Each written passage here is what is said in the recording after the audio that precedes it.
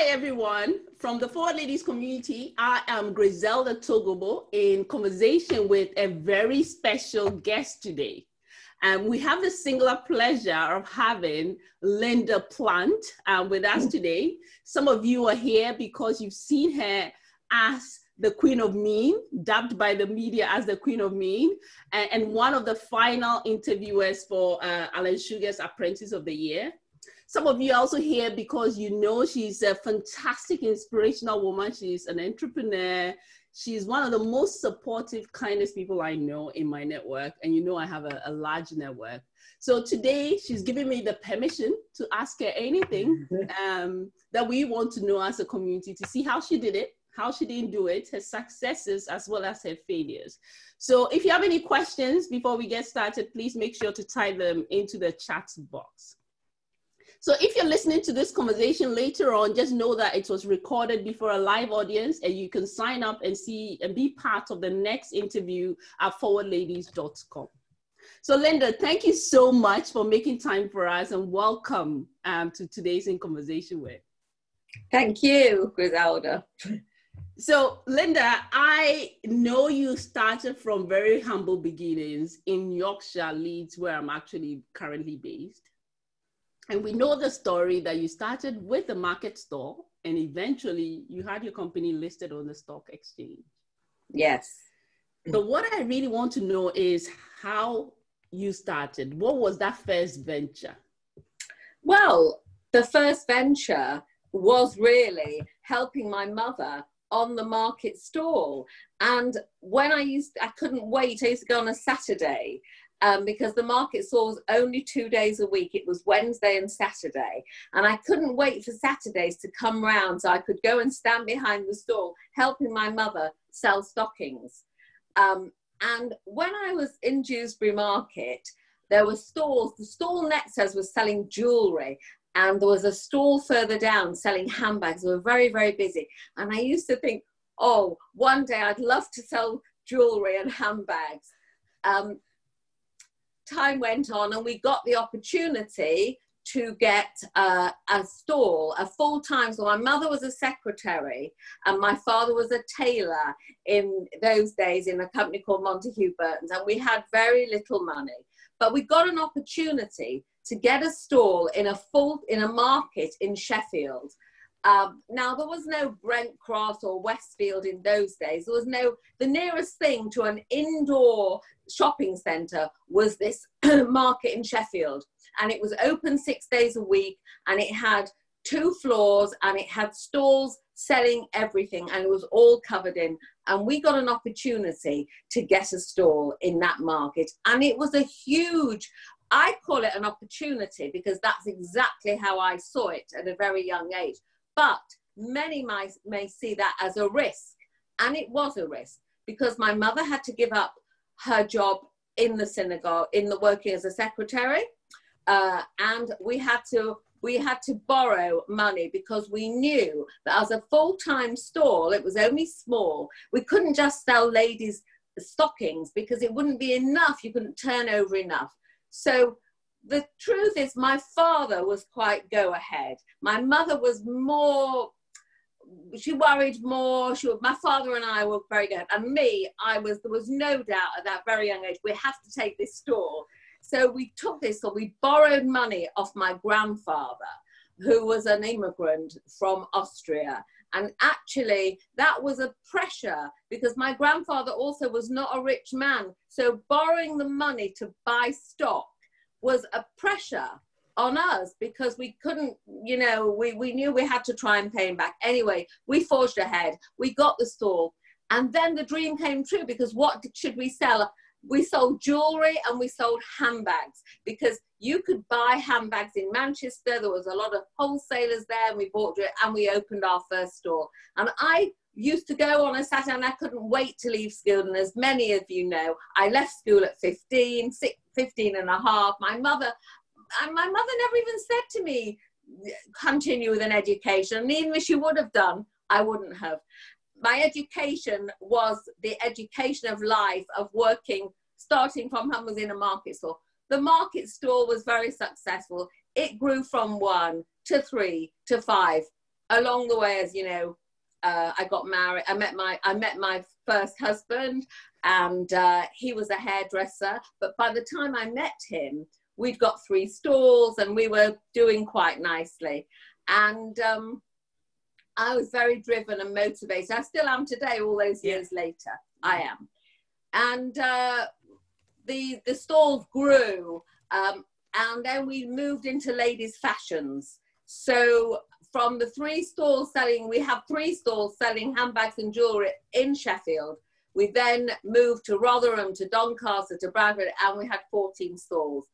And I'm going to touch on this now because I've had a lot of questions about business in challenging times. Mm-hmm. And let me tell you, the, and I've lived through three challenging times. We're now approaching the fourth, but yeah. I lived through a three day week. Not many people will, maybe some will, maybe some won't, but we had um, we had a government where we only had we only had daylight three three days a week. So we had to do all our business in those days because we had the miners were on strike. We mm-hmm. had we had no electricity, and it was very challenging, very challenging. So um, anyway, the business grew, as you know, and then we got into wholesale um, because I took I took a warehouse when I had 13 stock shops and stores, we needed a central distribute, distribution. And I took it in the fashion area of Leeds.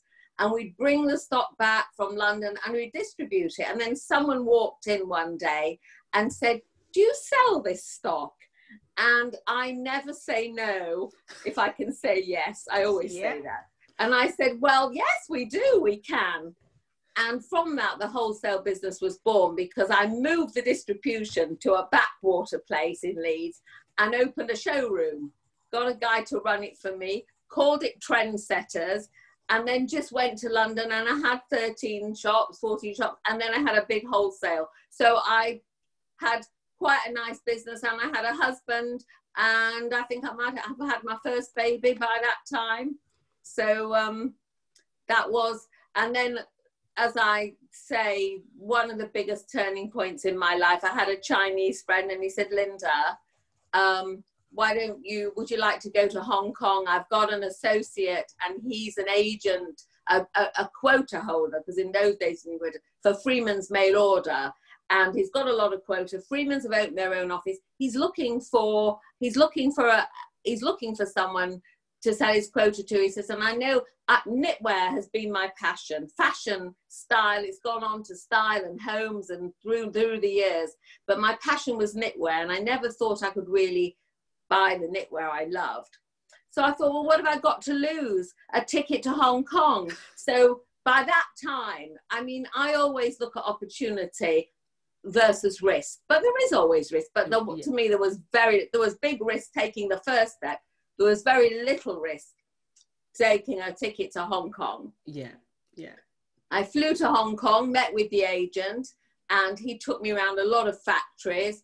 And I'm quite creative. I'm not a trained designer, but I've got a great eye. So by the end of it, we took me around to all these factories and I saw lots of styles that I loved. And I decided, and this is very, very important, is in my course, which I'll talk about later, you've got to have a USP, a unique selling point in business, um, especially in a trading business. So you've got to know you can't be jack of all trades, master of none. So I knew I wanted to buy, I wanted a handwriting, my own handwriting. Now I'm I like everything commercial. So I wanted pretty knitwear. I could never buy the knitwear that I really in, in my head wanted to buy. So I thought, right, I'm going to make this range and I'm going to embroidery and flowers and things. And I put this range together and it was so lovely. And I thought to myself, I've got to brand this because it needs its own identity. Its USP. The USP was the handwriting. It was pretty. It wasn't random. It had a definite handwriting. And it had a handwriting that appealed to a wide market because mm-hmm. I do like to have a wide market, market, you know i thought well a lot of women like pretty things don't they and really whether you're i don't know what it's a big age group yeah so i branded it honeysuckle because I wanted the, the brand name to represent. And I brought the merchandise back. So I wasn't really thinking how big an importing business I could have. I was thinking, I've bought 2,000, 2,500 of a style. I know I could sell these between my wholesale and my retail. But when I brought the, when I brought all the samples back and uh, hung them up, the customers and when are they coming in? When are they coming in? When are they coming in? And um, i could see very quickly that this was something that could be developed. Yeah. Um, and i don't know if i told this story before so i went back to hong kong for the winter range which was knitwear ladies knitwear because the first range i did was t-shirts and sweatshirts it wasn't really knitwear and my agent um, said to me we have to go to Seoul, Korea, uh, because that's where they have a lot of the quotas and that's where they're making knitwear. So off we go to Seoul, Korea. Uh, so brave of you, Linda. You're right. I was bloody brave. One hotel. When I got there, I thought, what is this place? It was so gloomy, gloomy and miserable. One hotel um, and curfew. He said, I didn't really have to worry. There was nowhere to go, but you had to be. It was scary. You had to be off yeah. the streets at eight thirty at night. You could still hear gunfire on the borders. So wow. it was. Anyway, I forgot about the fear when I went to the knitwear factories. Um, and people ask me, you know, so the first turning point in in my career was actually going to Hong Kong, building, starting a brand. But the mm-hmm. second one was I walked into a factory and I saw these amazing sweaters. It was like, if I saw them today, I would love them. They were sweaters with beads and diamantes and ribbons and everything fantastic. And I said to the factory owner, I want to buy these sweaters. He said, No, no, no, you can't have these sweaters because these sweaters are for an American Korean called Maria Kim. So I said, Well, I don't want them for America. I want them for England. He said, No, no, you can't have them. I said, Well, let me meet her. No, she's in New York. So he said to me, But her husband's here. So, well, let me meet him. Oh, no, because I started off in very much a non forward ladies world. I started off in the world where it was forward men and Korea.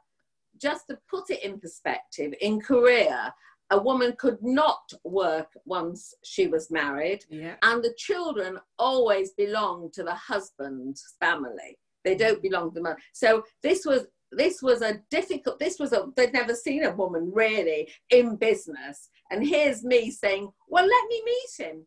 Anyway, luckily, as there was only one hotel, uh, and he was staying in it as well, he agreed to give me 30 minutes the next morning at breakfast and I thought, what am I going to say to this man to convince him that I can sell all these sweaters and to give me the rights to the sweaters?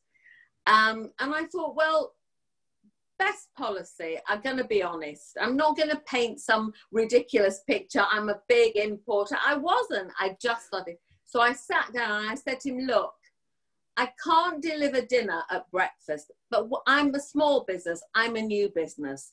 But what I can tell you is, I think I can sell these sweaters. Um, I really think I can do a good job. And um, I want you to give me the rights for England. And I thought I'll throw in Europe as well because I may as well. Because you may as well. well, uh, you know, and um, think big. Yeah. Well, I've always you've got to think big, not unrealistically big, but. So anyway, um, he started. We had a ratchet, and he I can't quite remember. He said I want X percentage ro- ro- royalties on each sweater. Uh, and I thought, well, I'm not going to argue on that. I said, okay, but if I sell Y, I want you to lower it, and if I sell Z, I want you to lower it again. Anyway, the bottom line is, I what 30 minutes later, I had the deal. I had the rights to England, and I had the rights to Europe, and I I put together my first knitwear range. Um, and it was so fabulous. It it was so fabulous. If I had it today, and I've still got my old catalogues, I would love it today.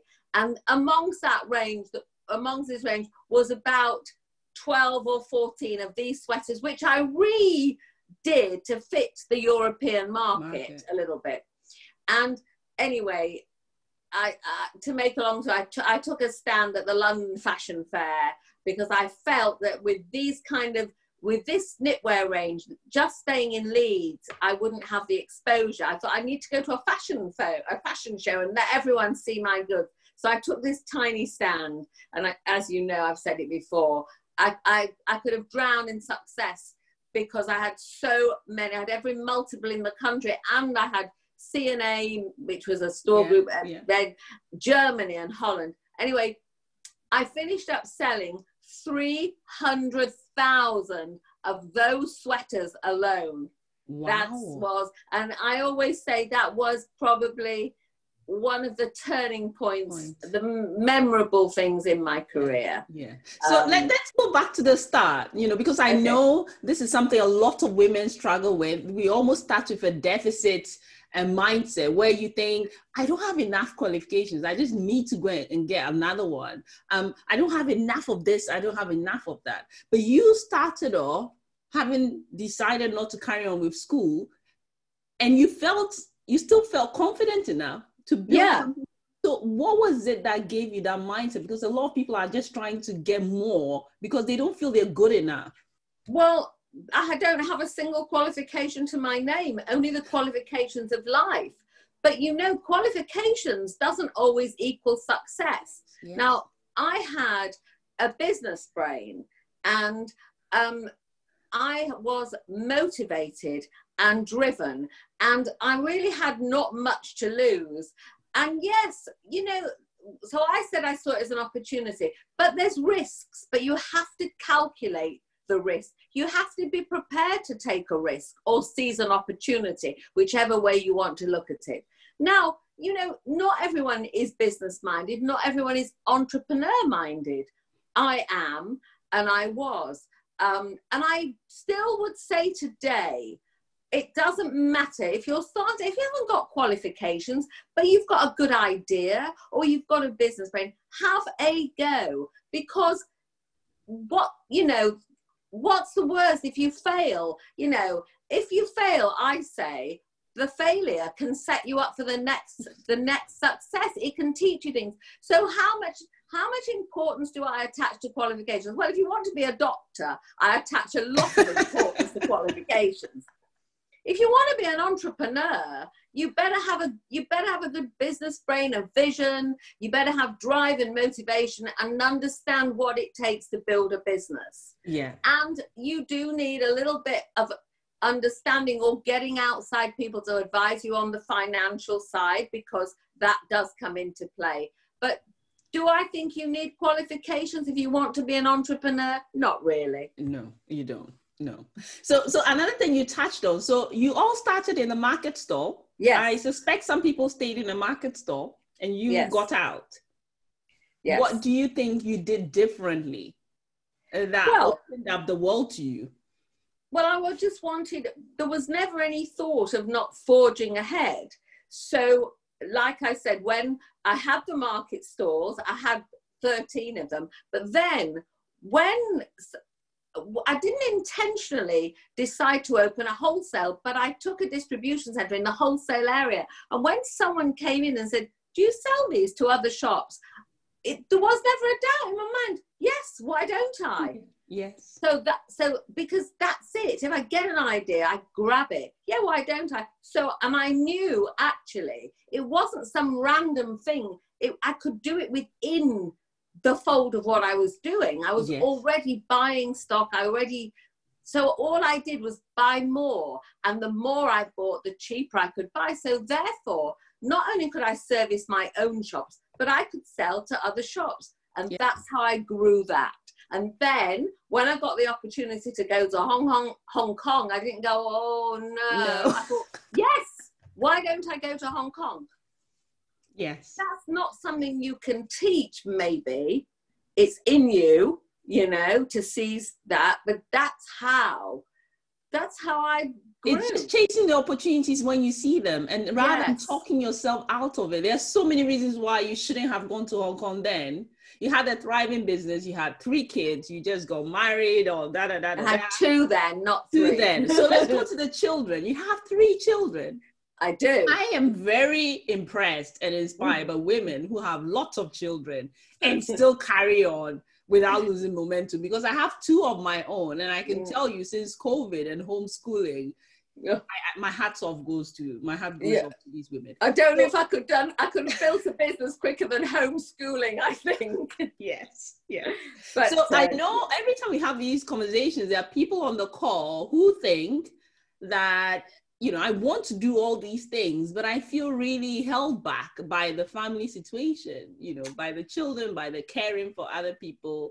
Well, I How think you in, do it in those well, in those days, it was much more. Today, women are at the forefront of business. You've got husbands yeah. staying home and women working, but in those days, um, so I was lucky. Well, my husband didn't travel with me, uh, so I had my husband at home with the children, and luckily my mother and father, because I travelled for long periods of time five, six weeks. I mean, eventually I had an office in Hong Kong and I would travel for five, six weeks very often the the biggest my biggest worry it was because when I was with my children, I had quality time. It was the guilt I felt while every mother was dropping their children off at school and picking them up and there to make them afternoon tea and dinner and breakfast and be everything. I was working, but I but I can tell you this much that my kids, uh, my kids had an incredible respect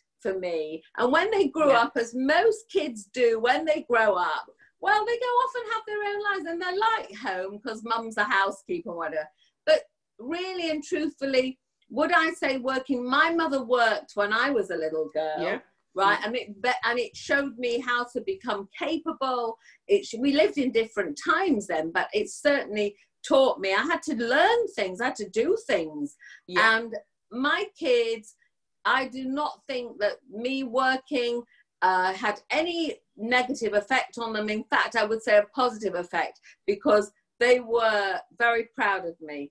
Yes. So, so, so Linda, um, we have so many questions coming in now. Um, there's a question around juggling time with children.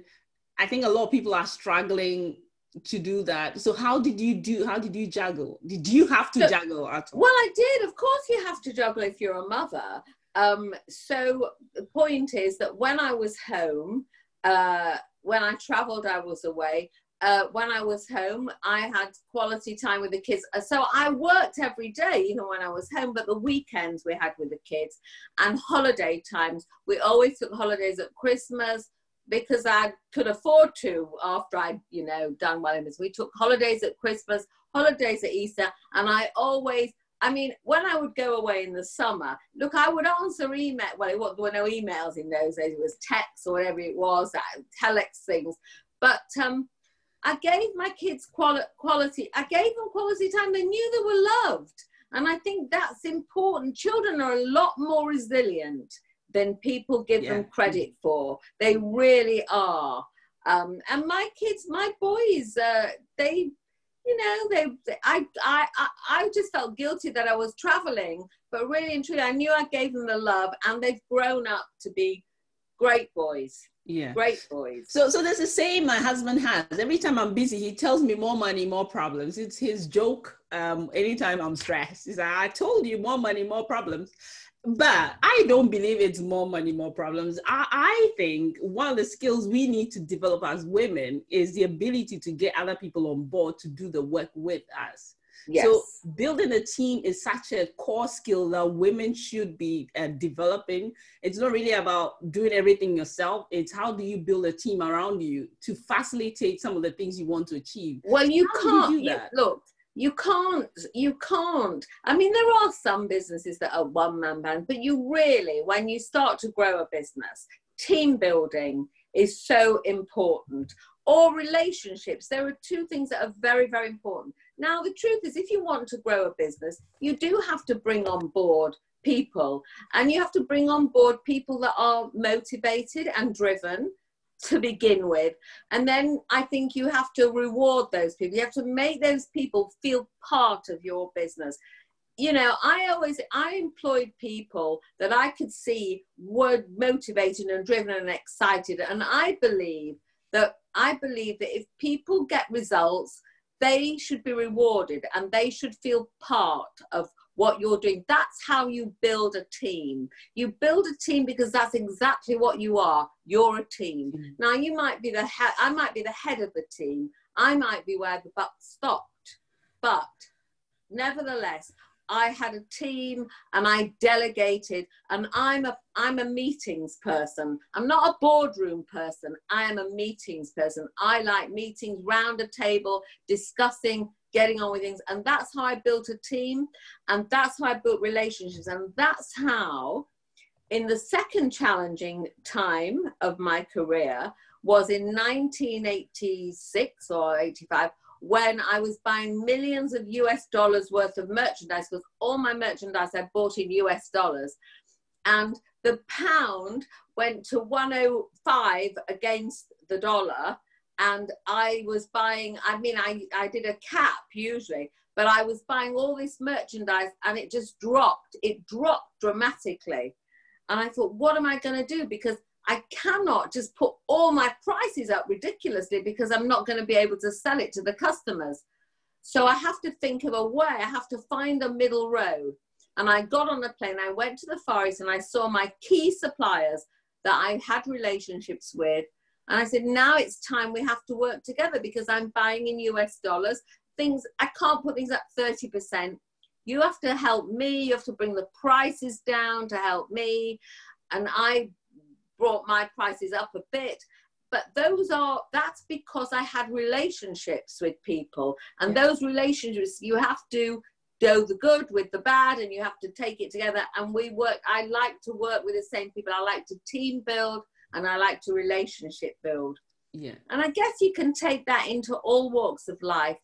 Business and even personal life you yeah. know comes times in your personal life. You need friends you need relationships so you have to value relationships and build your team in business and value them and make them feel valued. Yeah. So there's a question that has just come through from Rachel. Rachel says she runs a successful cleaning business that turns over 3.5 million and she wants to take it to the next level and grow bigger. What advice do you have to give it? Well, she has to have a plan. She, right. Well, she has to have a plan and she has to have a strategy. And I'd have to know more about her business. But I would say that you must, the growth has got to be realistic. You know, sometimes on The Apprentice, I get these business plans and you know the, the candidates maybe they've got a business and it's making quite a nice profit. It might be making 30,000 40,000 and then suddenly they tell me oh if i get lord sugar's investment i'm going to make 1.3 million. So and i go well how are you going to do that? Show me how. So if she wants to make her business bigger she's got to have a strategy. Where will her growth come from? The growth needs to be scaled will can she financially support that growth? Because it's very very important. And that's we're not talking about it now but that's why i've gone on to do this academy because so many people don't understand you know if she's got a turnover of three and a half million she's already understands her business. But to take it to the next level you know you've got to understand when i grew my business my importing business i couldn't have grown it without when I went to Hong Kong, it's a very different business because you need letters of credit and you need a lot of finance. Now, luckily, the quota holder was also prepared to give me finance. Mm-hmm. But the fine, you have to be able to do your financial template to understand how much are you going to need. If you can take your business from this to this, what's going to be the cost? Can you support it? And then the areas, where is the growth? Because there is there i'm sure there is growth but it's got to be controlled and strategized yeah that's what i would advise to her definitely do it go for it you know uh, I remember interviewing one girl, and she had a, a business, and she she was in a uh, somewhere in the Midlands. But the next thing she wanted to do was open a London office. She hadn't actually conquered where she was, you know. So be realistic. But yes, definitely take it to the next level. If I knew more about her business, then I would advise. Yes. Okay. In more detail. So, so there's been a question around motivation. So you have been consistent, starting businesses, pushing yourself through failure, starting another one, yeah. succeeding, exiting, starting another one. Even now, um, whilst doing the apprentice through COVID, when everybody is taking shelter, you have launched an academy. Yes. What is your driving force? But drive i think is within you. Um, i'm always i'm never bored. I'm always excited. Um, i want i'm positive i'm i'm positive as well. And i've moved through the fashion business through electronics business through property through interior design. And um, so I, it's it's kind of it's always been trading in a way because even yeah. when I'm trading multi-million pound houses, I'm still trading them. Um, so I, you know, I don't think you can say if you're not a motivated person, oh, how do I get motivated? That's that's a difficult one. But if you are motivated, think of the positives, think where you can go, and just don't be afraid to fail. You know, yeah, think yeah. positive because, and I've said this a couple of times. 1929 was one of the biggest depressions, but what came out of it? Disney. Disney yeah. came out of mm. 1929. 2008, when the wheel fell off with the banks and the mortgage, mortgage companies, Airbnb was born. Yeah. So out of recession and out of depression can come positivity. And we have to stay positive in life. We have yeah. to think, yes, we can. And if we fail, well, we'll pick ourselves up. It's not going to kill us. Fantastic. So I, I, think the question also is if I can add my two pence, it's around if you're not motivated, it's because you've not found the thing that you're passionate about. And Linda, as you can see, is a very passionate person about style, about yeah, well, trading. Actually, yes. In my course, I do because, and especially in these times, I say to people how to get an idea. So if hmm. you're not motivated, I actually, I'm not going, might not tell you on this because you might have to buy my course. but I actually businesswoman here. How you get an idea because if you think I want to do it, I want to go into business. What do I do? Because I start off with how to get an idea, and I end up with how to carry on in challenging, difficult times. So the truth is, if you're not motivated, you've got to get and you've got to get yourself motivated. You've got to get an idea. Yeah. So there's a, a, question here around moving between industries. So I know a lot of people tend to stick to what they know. Um, I, similar to you, I started an account um, engineering, went into accounting. I'm always looking for that thing that makes me a lot happier because I think life is so boring already. Why do things that you're not enjoying? You know, I have to do things that get me out yes. of bed. You went from um, the stall and fashion, you went into design, you went into property. I went into electronics. electronics, you've gone into all these sectors, which apart from the fashion, even fashion is male dominated. Looking at the e-commerce businesses now, they are all male dominated. So there's a question here around how you thrive in a male dominated space. And I know if there's any woman who holds her own, it well, women, you. look, let's be honest. Women can do so much more than men. Men are like one, they can do one thing. Women have to do everything. But how to thrive? Well, today it's easy to thrive because women are at the forefront. Um, in those days, uh, I never, you know, I never thought about it. And in some ways, in some ways, being a woman was an, was an advantage. And I always say this, you know, I'm, I'm aggressive, but I'm softly aggressive. I don't believe if you can't if if you're not going to get something nice and a little bit, you know, use a little bit of femininity, it can work, you know. You don't always have to be rough or whatever. When I'm negotiating, and that yes. can be through all my businesses, through the fashion businesses, I was negotiating. Through my electronics business, I was negotiating. Through the property business, you know, you sit down and when you negotiate, I always like, you have to assess who you're negotiating with. Sometimes it's nice to bring a bit of personal into it, a little bit of warmth before your negotiation. It sometimes just gets things moving a bit. And maybe that hasn't answered how you thrive in a male dominated world and maybe it has because actually if you're a woman you can use a bit of that femininity i think it's far better to be um you might be you might you might have a boxing glove on but you could wrap it in velvet and it gets you further.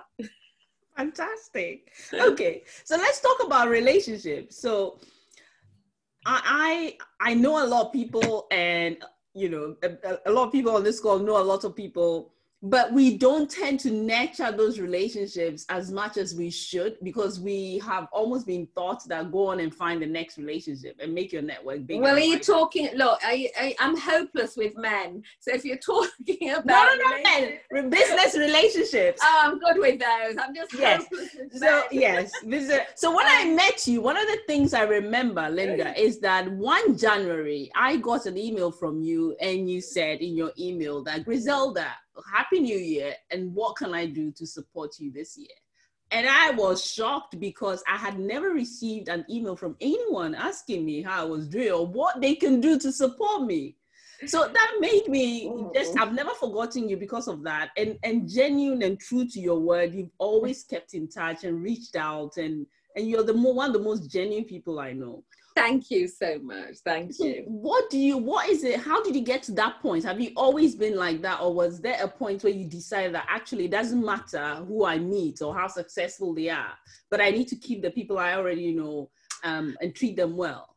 Well, I think it's very important along my along along the way, and even from my days in the fashion business. I mean, my head designer, I'm still best friends. We have lunch once a month. I think nurture relationships because and i had i had two sides of relationships because i had my suppliers who were so important the lifeline to my business but i had the customers. Now they were very important and you want to get repeat business. Yeah. you want those customers to come back. So it's very important whatever field you're going into if you're and, and, you know mine was trading. So with trading suppliers are important and customers are important. But i think it's very very important to, uh, to nurture those relationships. And that goes back to what i really said before. So i always try and bring a little bit of personal and you know i am a genuinely upbeat, positive person. I'm not some negative person putting on a smile. I am positive, and in a way, think I've reached a stage now when I can give back a bit. You know, when I can give back, and I think, you know, why not? Why not? Someone asked me a question the other day. Can someone be too rich? It wasn't about me, and I said. And I said the following, well, I said, if you're Bill Gates, no, because he is super rich, but look what he's giving back. Yeah. You know, and I think that, but but it's so important in life because relationships are important. Yeah. They're valuable. They're very valuable. They're valuable in business and they're valuable in your life. But mine are no good with men. But with everything else, they're good. that's another. I think that would be another session. That's a yeah, no, yeah. I think that's another whole other um interview. My mom used to tell me, "Why do you hang it? Let me just jump. Why didn't you be the one doing the dumping first? Um, and that's always stayed with me. So I, I think a lot of people, you know, are trying to find their path throughout the COVID and to get back to business as usual you have remained positive. You've been exercising. I've seen exercise on Instagram. Oh.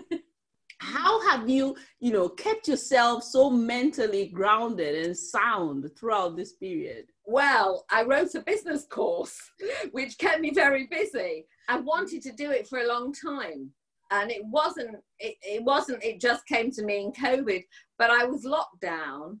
Um, as you know now i'm in the property business uh, which is not a business that you need to work every day full time. Yeah, yeah. it's different business and in any case um, so and we couldn't really do any interior the interior design side couldn't really work. So i thought um, i'll write this business course that i wanted to write. Um, and of course during during well i mean we're still in challenging times. We are still in challenge yeah. but i've always been positive. Someone said to me linda you're not going to get the virus. Will be afraid to attack you. I believe um, that but I, I, exercise, I exercise and uh, as soon as we could have friends round, I did, and I had my my son actually moved in with me. I oh, loved wow. it. He hated it, but anyway, he did. Um, no, so we have to keep positive, and I just cited that out of very challenging times came Disney, came Airbnb, yeah. came FedEx. Came, you've got to think positive, and it's not always easy. Yeah, it's really not. But you have to try because you know the you have to just try to keep your chin up try to think positive try to think what you can do and exercise i mean look i hate exercise but i do it I mean, I think you have a personal trainer that kicks yeah. your ass, isn't it? Well, yeah, well, I do. Oh my god! And I suffer. With, I've had a bad back, and uh, I do it in. And then my once my friend could come, we do it together. We both hate it and moan about it, but you feel good after it. So, yes, you do. Yeah. So so let's talk about the academy. Um, yeah. What's the building blocks in the academy, and why should people go and check okay. it out and sign up? So I decided um, I thought about it for a long time. I thought I want to write a business course because after all, I've had quite a varied career. I've had the fashion business, the electronics business.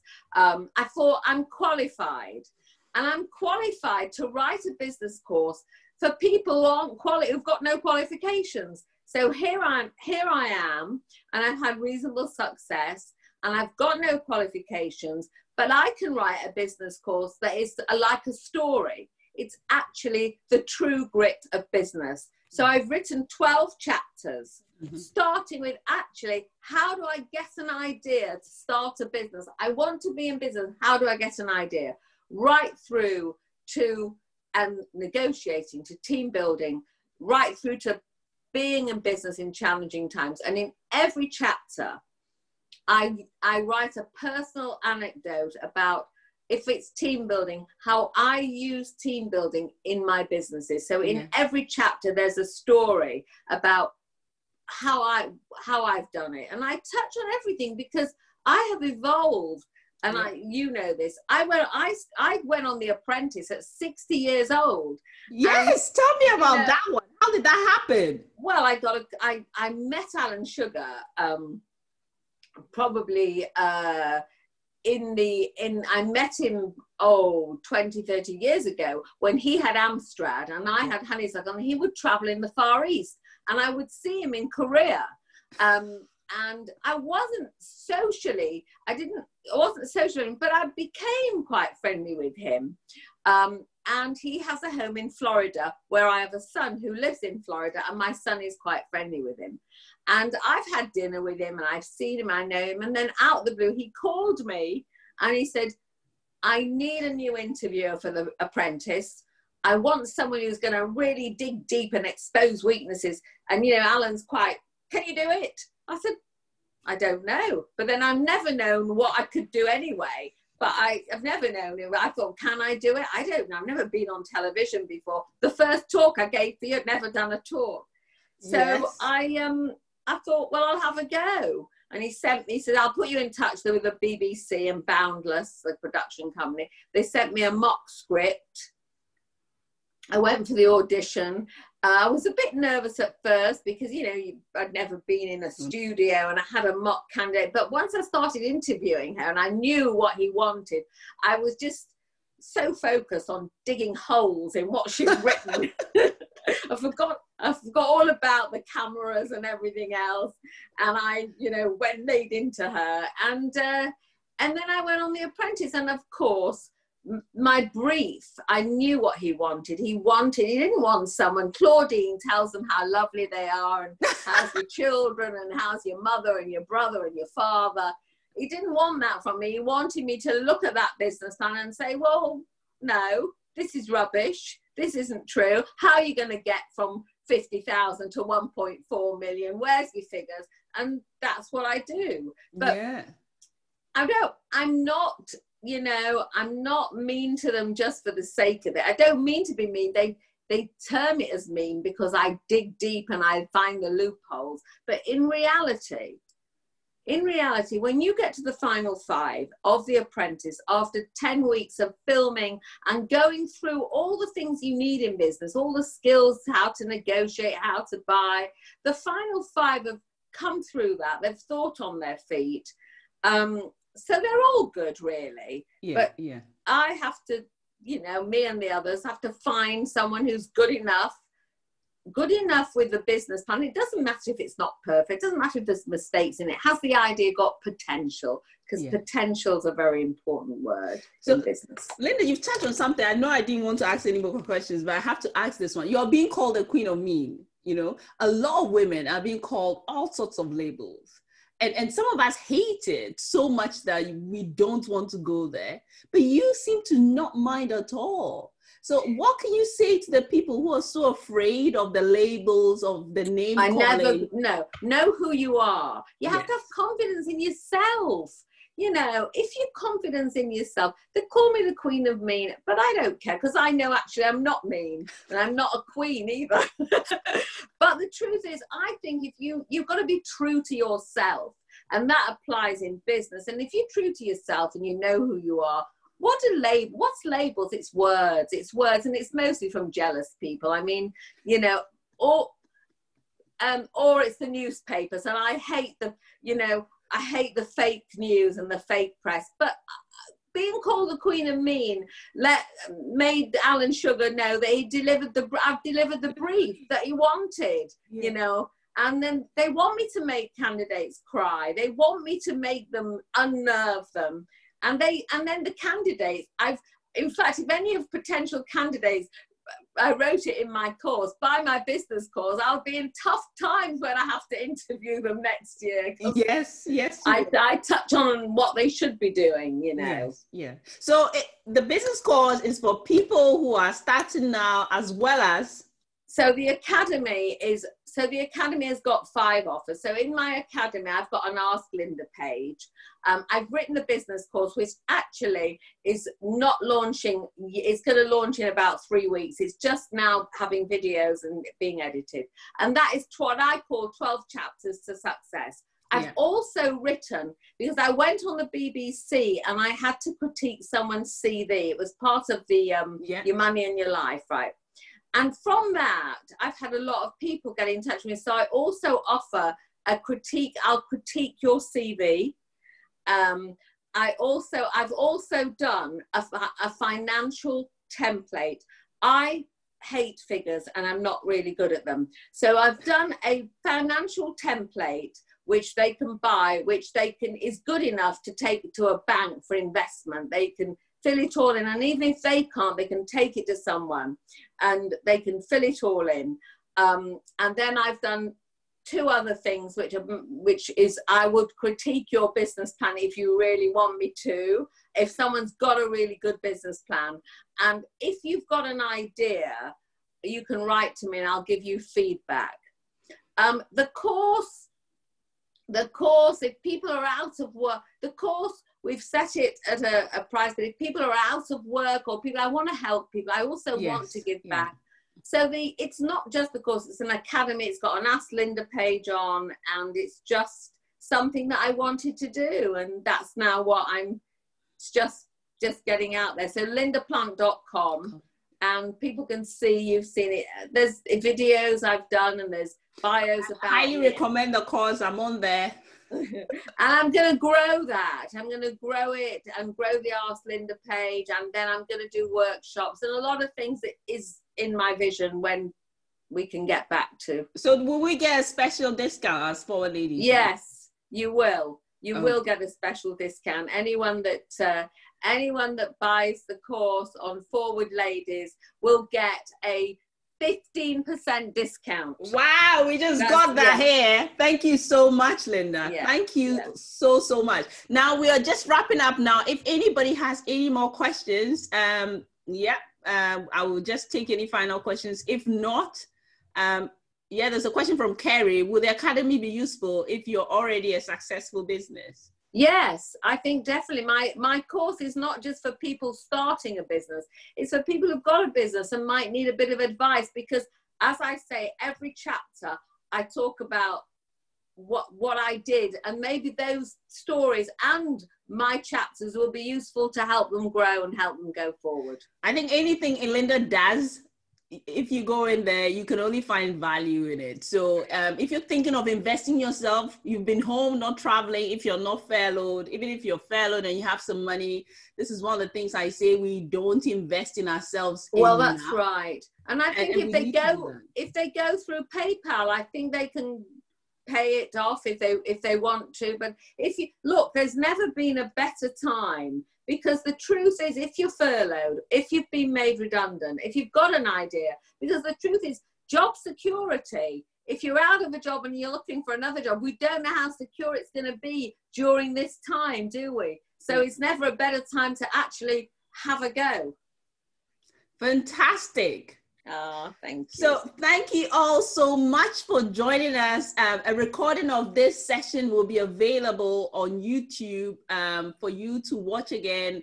Um, thank you for making time for us, Linda. I, a pleasure. I, am just so grateful for everything. You're so inspiring, so energetic, and you give us so much. Um, thank you. Well, I hope all the ladies, all the women out there who have watched this, I hope I've added a little bit of inspiration, brightness, whatever, good story to their lives. And, you know, just just don't give up for John because that's what we women have to do. Yes. So, and if you're not a member of the Forward Ladies community already, yeah. why are you not? Please go to the website and sign up as a free member and if or they, as a premium member. Yeah.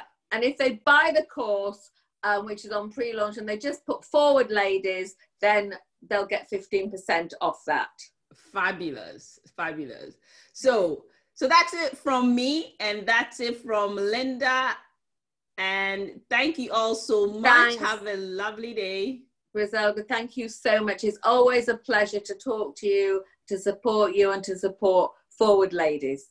Yeah, I think some people can't resist showing their faces. They just want you to see them. Of course. okay, we'll ask everyone to turn your cameras on. Since I everyone wants to, to be seen, them. turn all your cameras on and let's do a final goodbye. How do I see them? Yeah, um, you need to click on your uh, the view and then you see uh, everyone. Great. So we've got oh, yes, it this is fabulous. I'll just take a picture. Yes. oh, we've got pages and pages. Thank you so much. Um, we're incredible. We're we're strong. We can do anything. Nobody can take that away from yeah, us. Yeah. Remember you can do anything. I've been through so I've been through great times and shit times. You get through it all. Thanks, Griselda. Thanks, Linda. Bye, ladies. Bye. Bye bye. Um, I'm going to go off now. Yes. Can know how to leave it, leave. Just the red button.